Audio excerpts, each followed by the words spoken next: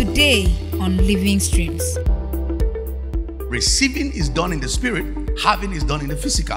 What you have not received in the spirit, you can't have in the physical. When God is not pleased, miracles are not possible. Your wealth is not determined by what you receive, it's by what you give, what you invest, what you sow. Good marriage is automatic salvation of your children. When your marriage is bad, your children are lost. And now to the word. Habakkuk 3, verse 1 to 3. I will stand upon my watch and set me upon the tower to hear or to watch to see what he will say unto me, what I shall and what I shall answer when I'm reproved. And the Lord answered me and said, Write the vision and make it plain upon tables that he may run that readeth it. For the vision, everybody read verse 3. One to go.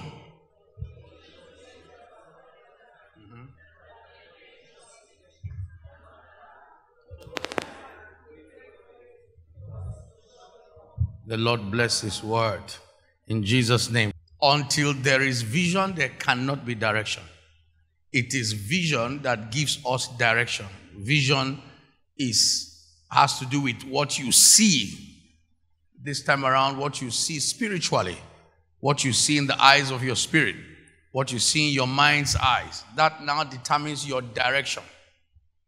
The most horrible thing to happen to anybody is to waste your time and waste your life in the wrong direction. You will not waste your life in the name of Jesus Christ. Until your headlight is sharp enough, you can't travel fast enough.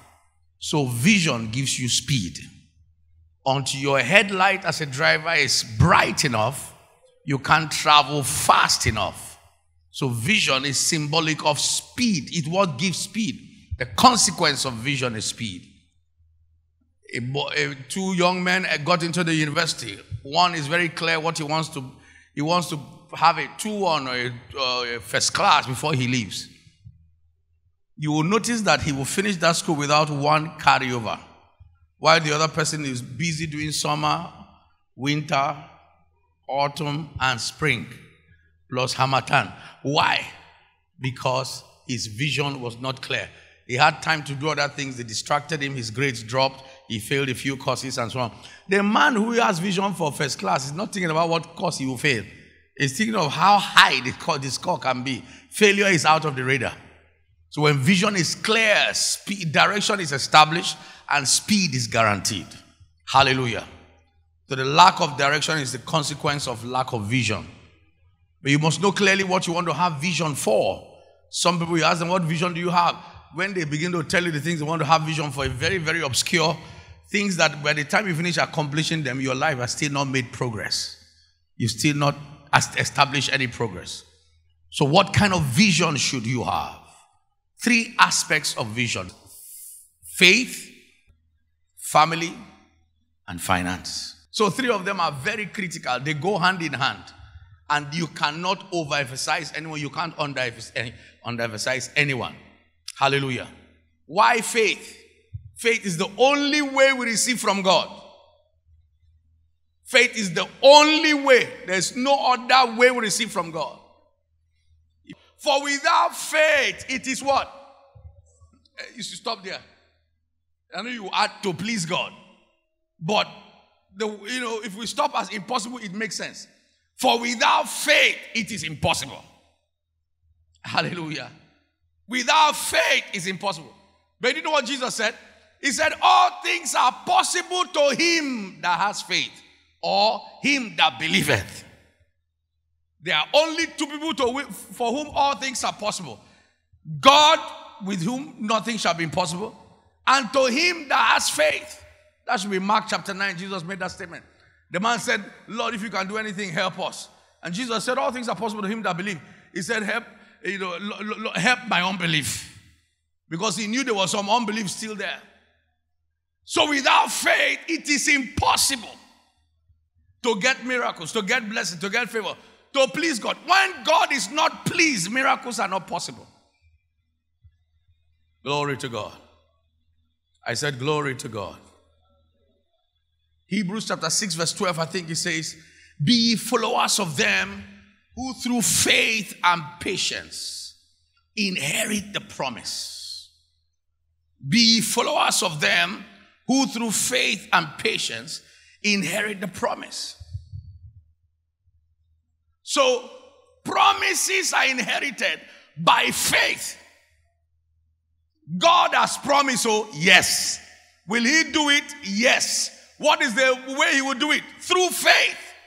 That's why, for every person who came to Jesus and got a healing, what did Jesus say to them? Your faith has made you whole. Why did he say, My power has made you whole? The power is a constant, the faith is the variable. The constant is always, the power is always there, but many times there is no faith to tap into the power. That's the problem. Hallelujah. Somebody has elephantiasis.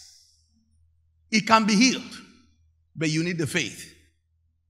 So there are people that are entering into 2018 now and they have all kinds of goals. Many have not plotted goals to build their faith. Do you know that?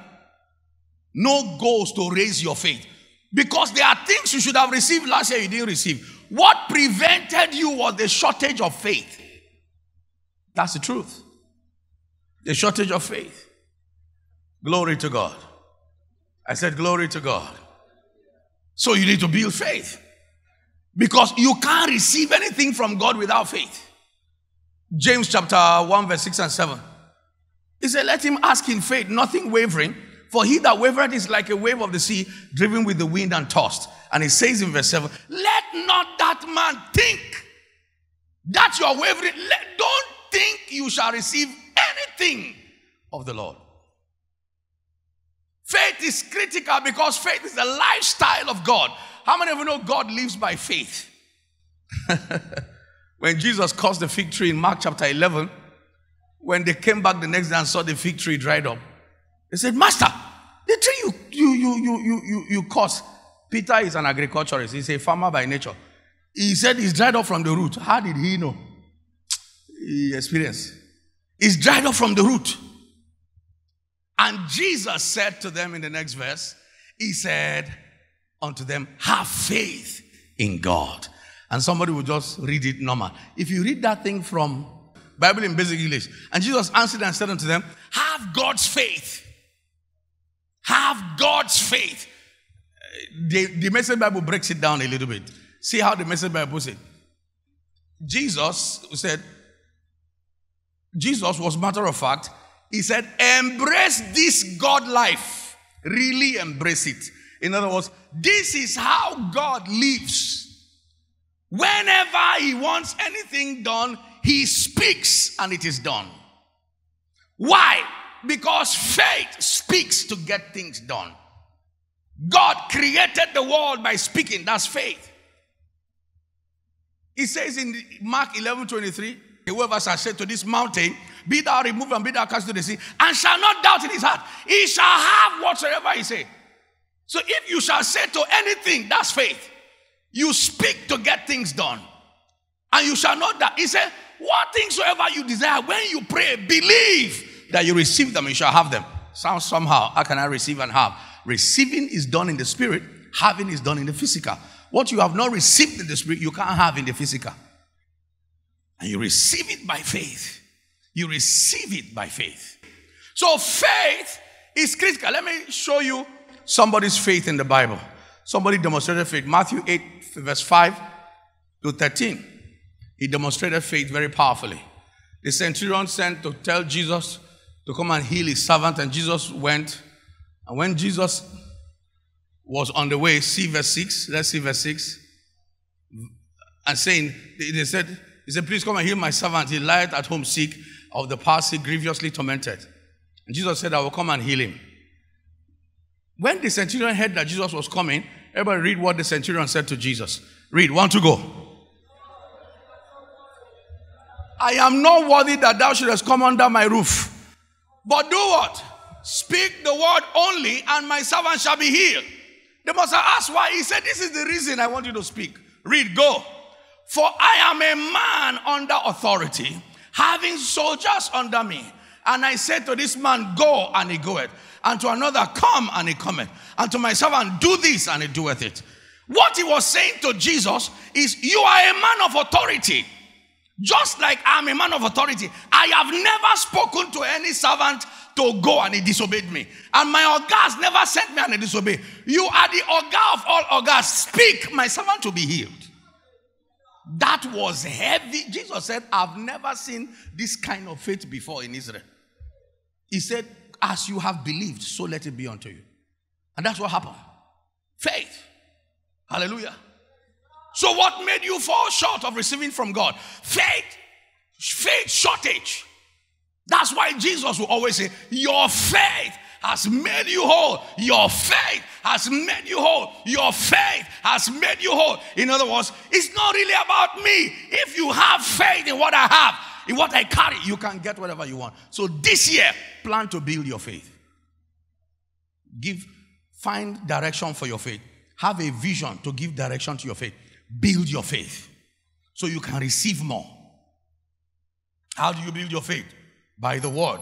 Romans 8, uh, 10, 17. Faith comes by hearing, and hearing by the word of God.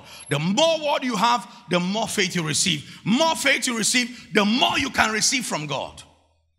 Very simple. When you see people listening to the word of God, they're not playing, no, they are building their faith. They are building their faith. The second way to build your faith is Jude, verse 20. But ye beloved, building up yourself in your most holy faith, praying in the Holy Ghost. The more you pray, especially in the Holy Ghost, in the Spirit, the more your faith is built. I talked about it in the last service. The more prayer. The Bible says in First Corinthians chapter 14, verse, verse 4, it says, He that prays in an unknown tongue edifies himself. That's you are charging your faith. You are that word edifies the word charge. You are charging your faith. Okay? Hallelujah. Plan to increase your prayer life so your faith can increase and your, your reception or receptivity, whatever it is, can increase. The third way to build your faith company with people of faith. Company with people of faith. Keep company with faith people. Proverbs chapter 13, verse 20 says, He that walks with the wise shall be wise. So he that walks with the faith field shall be full of faith. Hallelujah. If you walk with, with, with people who are full of faith, you will be full of faith. And Hebrews chapter 6, verse 12, it says, Be followers of them who through faith and patience uh, inherit the promises. Hallelujah. The next thing we want to talk about is family. Somebody say family. That's something you must have a vision for this year. Plot a vision and direction for your family your father, your mother, your siblings. You must put them in your prayer radar. If you are born again, you are saved. How many of them are born again and saved? Why are you comfortable that your siblings, your parents are not saved? You are not sure if they die, they will go to heaven. Why did God save you? God saved you so that through you, He can reach your people. God is a systematic God. The Bible says He sets them in families. So what does he do? He picks one person from one family, get them saved, pick one. So through you, salvation can spread into your family. Through you, healing can spread into your family. God planted me there because so that through me, my family can see the light. Salvation can spread to every member. Let me say this to every believer. It's a shame. One year, two years, three years of being born again, four years no, your family members are all not saved. It's as if you are not totally saved. That's how it is. It's as if you are not completely saved. Because it's a disappointment to the Almighty God. Why did I put you there? Ezekiel 22, verse 30, he said, I sought for a man among them to form the hedge and stand in the gap for me. God wants to use a man as a bridge so he can pass through you. That's why he saved you first to plan for your family. The best way to plan for your family, for your immediate family or your nuclear family, is by having a good marriage. Someone say good marriage. Good marriage is automatic salvation of your children. When your marriage is bad, your children are lost. Almost totally lost. Work on the marriage and you get a good family. You cannot have a bad marriage and have a united family. Your family will decline, it will fall apart. Praise the name of the Lord. Make, make sure your spouse is happy. Make sure your husband is happy. Make sure your wife is happy. Don't be living a scattered life, creating civil war in your house. And you expect, see, this year, make up your mind, there will be more peace in my house than ever before. That's a good goal. That's a good vision. That's a good direction. When there is peace, wealth follows it. Do you know another meaning for the word peace is shalom? Shalom also means wealth. Wealth. So where there is peace, there is wealth. Which nation is in war and they are building inside war? Which nation have you seen like that? Rockets are flying. And contractors are building. They don't build in wartime, they only build in peacetime. Praise the name of the Lord. Who is with me here today? Someone say family. Say family. Family is your stabilizer. When all is said and done, that's where you go to. When God asked Noah, He said, You have I found righteous before me. He didn't bring him alone to the ark, he carried his sons, his wife, his sons' wives. God is a family God. Hallelujah. And when God wanted to save Lot from Sodom and Gomorrah, he wanted to save the entire family. Just that his wife. God is a family God. Everybody say after me, say, God is a family God. He saves families, He doesn't just save individuals. So, if your family is not saved, it's a minus for you. It's not a good thing. It's not a good report card. Hallelujah. I said, Hallelujah. Every member of my family, they are all saved. My father died a born again Christian. My mother is saved. I am her pastor right now. Hallelujah. My, my, my, my brothers, my sisters, they are all saved. In fact, they are all in ministry. They were not saved when I got born again. I prayed them into salvation so that nobody is lost in your family. Nobody shall be lost in your family in Jesus' name. When God was bringing Israel out of Egypt, He said they should kill a lamb, family by family. Is it not so? House by house. So God never planned that one member of a family will save and others are not saved. So your project this year, make sure no member of your family is still in sin. I don't care how bad they are in sin. By your prayer, they will come out. There's nothing as powerful as a family member interceding for another family member. Outsider may not do it as effectively as a family member. Praise God. Well, let's jump from there to talk of finance. Money answers all things. Ecclesiastes chapter 10, verse 19. Finance. It's not the devil that said the statement, it was God. Money answereth all things. So if your finances are bad, then your family will suffer, your faith will be ridiculed. There is need for financial intelligence for your family or for your finances to improve in any way. Ignorance is the reason for suffering. Some of my people are destroyed for lack of knowledge, lack of knowledge of finances, on how to manage finances. If when money enters your hand, what you think of is what to buy you are financially foolish. Financially what? Foolish. Financial intelligence says as money enters, where does it go to first? Huh? Eh? where does it go first? Speaking in baby English? But the money must land. The money has not landed if it doesn't enter the bank. Oh. It has not, it's still in the air. It must land. Then there you write, you, you write off your tithe. You pay yourself. That's financial intelligence. Pay yourself means savings. Huh? Praise the Lord. I said, Praise the Lord. Finance critical. So pay yourself, save. And then deduct all important expenses. I don't I imagine how somebody, you know, you your rent will be due in how many uh, months' time and there is no savings for your rent, you are not financially intelligent. You will end up borrowing, and the borrower is servant to the lender. You become a slave. Yeah? Or you are living in a landlord house and they just land you, you just landed this heavy money, five million naira. Next thing you buy a Honda Accord and your rent, this is like December, no, so January, your rent is due by June. Your landlord will do Thanksgiving for you. And your next rent is double. How can you have Honda Accord? You don't have a house. You should be bullalarized. You should be flogged. Some people's wife will be pregnant? The pregnancy grow to two months, three months, four months. No plan. Nine months, they begin to hustle to borrow.